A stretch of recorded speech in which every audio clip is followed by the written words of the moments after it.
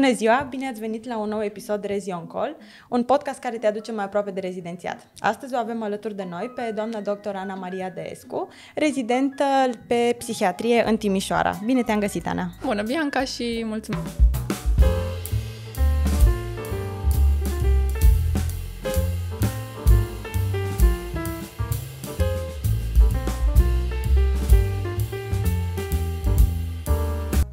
În primul rând, aș vrea să te întreb cum ai ajuns să alegi psihiatria la rezidențiat? A fost prima ta opțiune? Ai avut și altele? Care a fost parcursul, să spun așa, în alegere? Psihiatria a fost prima mea opțiune la rezidențiat, dar uh, nu a fost neapărat una din opțiunile mele pe parcursul facultății. Abia când am ajuns în anul 6 de facultate și am uh, fost la cursurile și la stagiile de psihiatrie, am văzut că este o specialitate interesantă, complexă, o specialitate care cumva uh, îmbină medicina cu arta, pentru că pe lângă cunoștințele medicale de care e nevoie în orice specialitate medicală, uh, psihiatria are nevoie și cumva de o sensibilitate aparte pentru um, problemele emoționale și psihologice ale pacienților. Um, e o specialitate care um, cumva combină mai multe domenii, um, sunt implicate neurobiologia cu dezechilibrele chimice din creier, uh, științele sociale, psihologia, dar și factorii de mediu, de exemplu stresul sau consumul de substanțe, uh, toate au un rol în apariția tulburărilor psihice și atunci mi-am dat seama cumva că e o specialitate care îmi permite să mă dezvolt în foarte multe domenii. Da, și ai simțit că ți se potrivește poate cel mai bine. Asta a fost o motivație o... foarte bună, da, să, să aleg această specialitate la rezidențiat. Sigur, a fost și o decizie rațională, pentru că am vrut să-mi aleg o specialitate care să se îmbine ușor cu personalitatea mea, cu stilul meu de viață. Um, am vrut o specialitate de cabinet pe care să pot să o fac liniștită și um, să-mi pot construi o carieră în paralel cu viața de familie, cu relațiile de prietenie care sunt foarte importante pentru mine. Mi se pare că ai gândit-o foarte frumos. Uh, vreau să te întreb dacă ai mai avut și alte opțiuni pe care le luai în calcul? Pentru că de obicei știu că atunci când te duci la rezi, îți faci așa un top cam ce mi-ar plăcea să fac. Dacă mm-hmm. ai mhm. mai avut și altceva pe listă, ce simțeai în momentul acela că poate ți s-ar potrivi? Da, uh, una dintre celelalte opțiuni a fost endocrinologia, care la fel mi s-a părut foarte, import, uh, foarte interesantă. Um, a fost o specialitate care m-a captivat foarte mult pe parcursul facultății. Mi-am elaborat și lucrarea de licență tot pe um, o temă de endocrinologie, așa că între astea două am ales. Și tu, de fapt, atunci te-ai decis să înțeleg după licență de-a dreptul că... Da. Adică a fost așa o decizie... M-am decis, practic, în săptămâna dintre exameni și ziua alegerii specialității. Am mai auzit cazuri de genul acesta care au fost foarte convinși că iau o anumită specializare și în momentul în care au fost puși în fața faptului și chiar trebuiau să aleagă, au venit cu complet altceva acasă și au zis, da. asta am simțit că a trebuit să iau, am simțit că mi se potrivește mai mult. Cred că simți. Și în... cred că ai luat alegerea potrivită pentru tine, adică te văd uh, fericită. Ești anul 5. Anul 5, da. știu, da. Și ai și specializare anul acesta, ești mai puțin uh, medic emoții. specialist. da. O să fie bine. Cum ți s-a părut în anul întâi de rezi trecerea de la facultate la rezidențiat? Cum ai perceput-o? Nu a fost o trecere neapărat grea. Facultatea a fost una din perioadele mele preferate oricum. Dar cumva după ce am dat examenul de rezidențiat, mai ales după ce am ales specialitatea, uh, eram nerăbdătoare să ajung în spital să văd exact ce înseamnă, pentru că nu știam mare lucru despre specialitatea respectivă. Cea mai mare schimbare, să zic, a fost nivelul de responsabilitate de la student la rezident. Deja când ești medic rezident în spital, um, pacienții tăi se bazează pe tine, la fel și colegii și medici îndrumători, deci cumva crește responsabilitatea. Corect, așa este. Și vreau să te întreb cum ai simțit că te-a primit echipa? Adică câți, hai, sau hai să întreb, câți, uh, dacă ați fost mulți rezidenți, de exemplu, în, în anul în care ai intrat tu, cum ți s-a părut că ați fost primiți, dacă ați fost îndrumați, dacă vi s-a oferit suportul necesar sau dacă a trebuit foarte mult să înveți tu acasă, poate? Am fost uh, mulți rezidenți în generația mea, uh, am fost împărțiți pe cele două secții din Spitalul de Psihiatrie.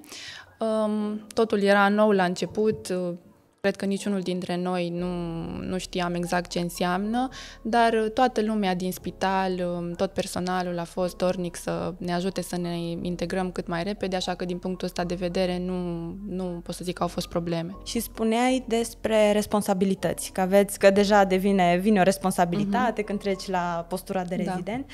Uh, cam ce implică în specialitatea psihiatrie, cam ce face un rezident, ce atribuții ai, sau hai să spun așa, cu ce ai început, ce atribuții vi s-a dat la început și până la ce ai ajuns să faci acum în ultimul an, da. cam ce ați făcut ca și rezidenți. Deci responsabilitățile și atribuțiile rezidenților se modifică oricum pe parcursul înaintării în rezidențiat. La început, ca rezident de anul întâi, faci echipă cu un coleg mai mare și lucrezi împreună cu colegul respectiv la cazuri. Primele lucruri pe care le înveți când ajungi în spital sunt felul în care se completează o foaie de observație și cum să lucrezi în sistemul informatic al spitalului. Acolo se operează toate internările, externările, cererile de analize sau alte investigații. Apoi, cumva, observi, ajuți colegii mai mari până când ajungi și tu să prinzi puțin mai multă experiență și să poți să preiei direct cazuri. Bineînțeles, și atunci te consulți cu colegii tăi și ești mereu sub supervizarea și respecti indicațiile medicului îndrumător, cu care trebuie să ții constant uh, legătura, să-l informezi despre evoluția cazului și el te va ghida pe partea de diagnostic și de tratament mai departe. Știu că la psihiatrie se fac și gărzi. Da cam câte se fac, dacă pe lună, să spun, și dacă crește numărul acestora în decursul anilor. Pentru că am auzit că se, există și această variantă, că se începe cu puține și se ajunge la mai multe. Da. Cum e la psihiatrie? Uh, la psihiatrie există o gardă obligatorie pe lună pentru medicii rezidenți. În această gardă, medicii rezidenți lucrează ca linia a doua de gardă, sub coordonarea medicului din linia întâi de gardă. Sunt doi sau trei medici rezidenți care asistă atât pacienții care vin în urgențe, cât și pe cei deja internați pe secție. Din anii mai mari de rezidențiat, din anul 4 și anul 5, uh, medicii rezidenți au posibilitatea de a face gărzi extra, uh, care sunt și plătite și sunt gărzi de linia întâi. Am înțeles. Și garda ce înseamnă? De 24 de ore? Uh, în timpul săptămânii, garda începe la ora 13.30 și se termină a doua zi la 8 iar în weekend, garda începe la ora 9 și se termină a doua zi tot la ora 9. Tot la ora 9, am înțeles. Uh, știu că se, uh, se fac mai multe stagii în decursul, adică nu stai doar pe secția de psihiatrie în timpul rezidențiatului, cât stai pe efectiv pe secția de psihiatrie și pe ce alte stagii se merge? Primul an, aproape complet, îl petreci pe secția de psihiatrie, avem stagiul de psihiatrie generală, ultimele două săptămâni uh, sunt uh, acordate stagiului de bioetică. Apoi avem stagii pe neurologie și neuroimagistică, medicină internă, psihiatrie pediatrică, uh, toate le facem pe secțiile respective, sub îndrumarea medicilor de acolo. Apoi avem un stagiu de psihoterapie, Uh, stagiu de psihiatria vârstei înaintate sau de adicții și consum de substanțe. Acestea sunt patologii frecvente care se întâlnesc în practica psihiatrică. Mai avem stagii de mm, psihiatrie comunitară, psihiatrie de legătură sau medico-legală. Ca să explic așa puțin despre fiecare, psihiatria comunitară se ocupă cu reintegrarea mm, pacienților cu tulburări psihice în comunitate, Psihiatria de legătură, practic, se ocupă de tulburările psihice care apar la pacienți internați în alte specialități medicale pentru alte probleme, iar psihiatria medico-legală se ocupă de diagnosticul și de tratamentul tulburărilor psihice um, la persoanele care interacționează cu sistemul legal. De exemplu, în cazul evaluării unei capacității unei persoane de a fi judecată sau în cazul tratamentului persoanelor aflate în penitenciare. Asta, cu asta se ocupă psihiatria medico-legală. În anul 4 mai avem stagiul de psihiatrie de urgență, în care practic învățăm cum să gestionăm situațiile de urgență din psihiatrie, cazurile, de exemplu, de suicid sau episoadele psihotice acute, orice necesită tratament imediat și uh, ultima jumătate a anului 4 și anul 5 um, avem stagiul de psihiatrie clinică în care practic consolidăm ce am învățat pe parcursul rezidențiatului până atunci. Um, există și opțiunea de supra-specializare? după terminarea rezidențiatului? Da, există și competențe și supra-specializări. Printre competențe avem uh, EEG-ul, MEG-ul, um, iar la supra-specializări avem um, um, psihogeriatria, care se ocupă cu îngrijirea persoanelor vârstnice cu tulburări psihice, sexologia, care tot așa e compatibilă cu specialitatea de psihiatrie, tratamentul adicțiilor de substanțe, e iarăși disponibil pentru medicii specialiști în psihiatrie, deci există, există variante. Mai e și psihoterapia, care pe lângă supra-specializare e disponibilă și ca opțiune de a face cursuri de formare în psihoterapie pe lângă rezidențiat sau după rezidențiat.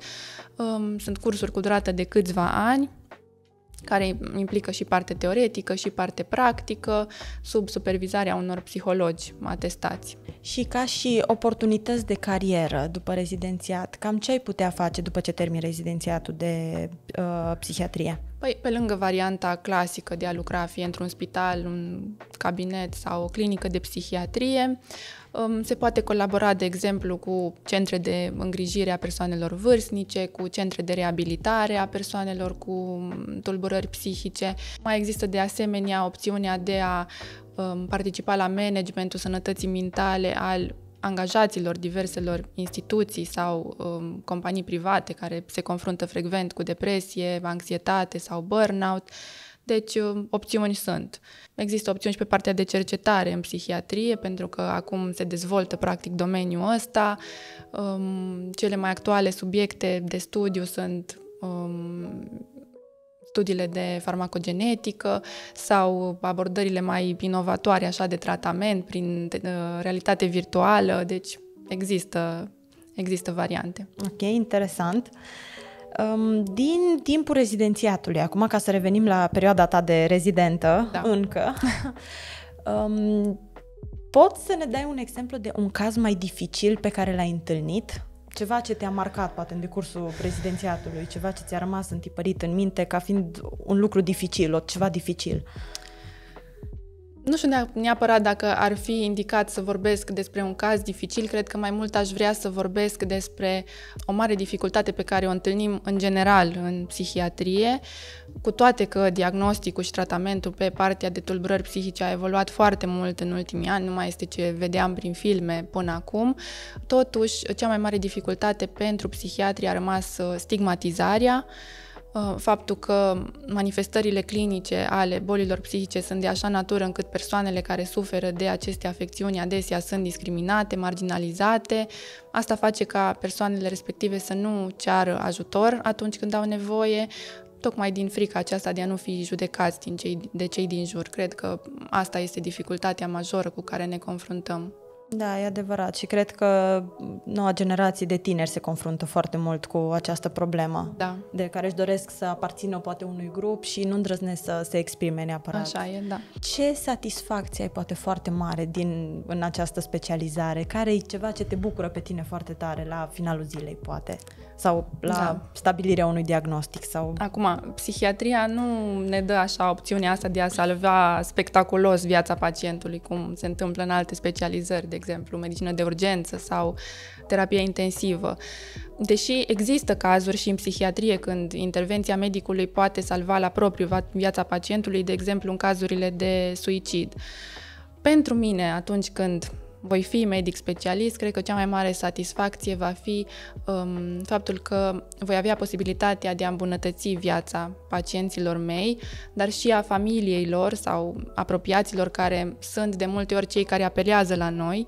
Pacienții de multe ori nu își dau seama de problemele cu care se confruntă. Deci faptul că voi putea îmbunătăți calitatea vieții lor va fi pentru mine satisfacția cea mai mare. Am auzit de la studenți că ai fi o uh, doamnă profesoară excelentă la facultate, deja din timpul reziden- rezidențiatului și asta vreau să te întreb dacă există această oportunitate de a preda din timpul rezidențiatului, dacă da, cum?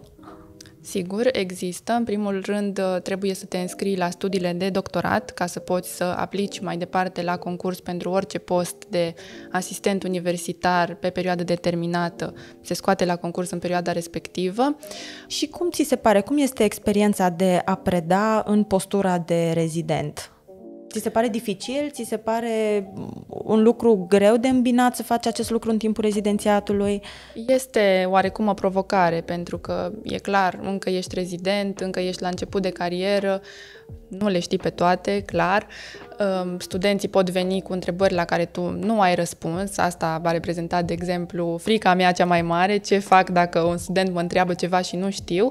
Dar cred că cel mai bine este să fii autentic, să fii sincer, să te informezi și să dai răspunsul la întrebările studenților atunci când uh, ești mai bine informat.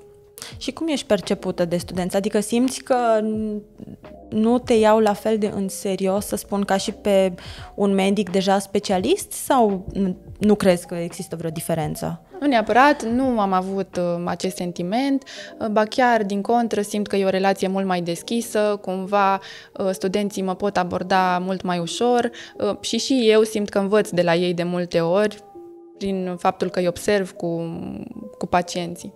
Dacă ai fi acum pusă în situația să alegi din nou, să dai timpul înapoi, rămânându-ți toate, toate cunoștințele de acum, dacă ai putea alege din nou, ai alege același lucru? Sau ai opta poate totuși pentru altceva?